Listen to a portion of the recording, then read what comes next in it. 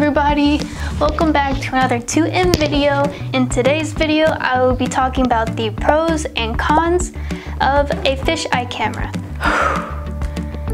I'm out of breath. Hopefully I can answer any questions you might have about fish eyes and help you decide if the fisheye camera is the perfect camera for you.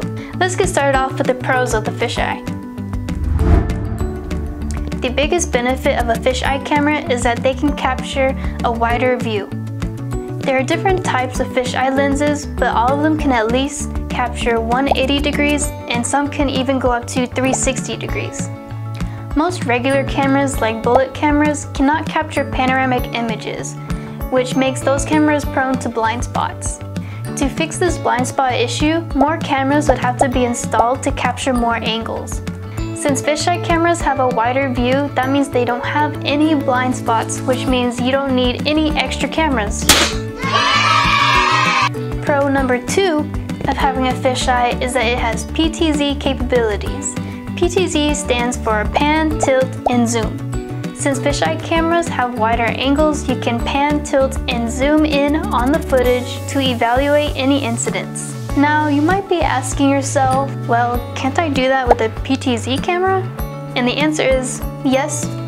Yeah, yeah, you can. However, PTZ features can only be used in real time and not on footage that has already been recorded. Now, fisheye cameras can use PTZ capabilities on live footage or recorded footage. Pro number three, the fisheye is tamper resistant.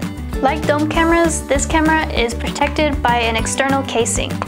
Since there's a covering over the lens, it is hard for people to tamper with it and try to change the angle of the camera.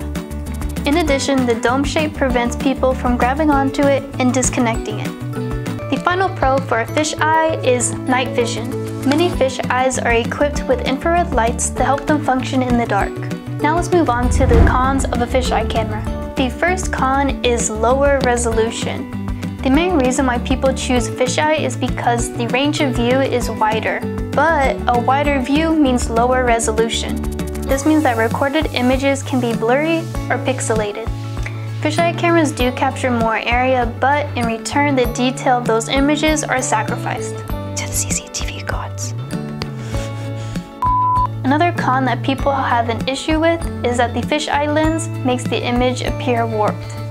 The image can take on a curved appearance and be distorted. To fix this issue, fisheye images will need to be de-warped. Fisheye cameras would be good for you if you're wanting to monitor a large outdoor area. But you should remember that capturing a panoramic view will have a lower quality and the image may be distorted. I hope this video was helpful for you and leave a comment down below what camera you'd like to see next. And please don't forget to subscribe. Please subscribe.